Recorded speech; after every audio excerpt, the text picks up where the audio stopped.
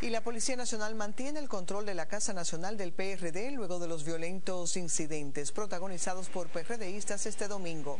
En las afueras del local, unidades SWAT y de otros cuerpos especializados custodian fuertemente la Casa del Partido Blanco. A la sede PRDista no se permite la entrada a ningún empleado o militante de esa organización.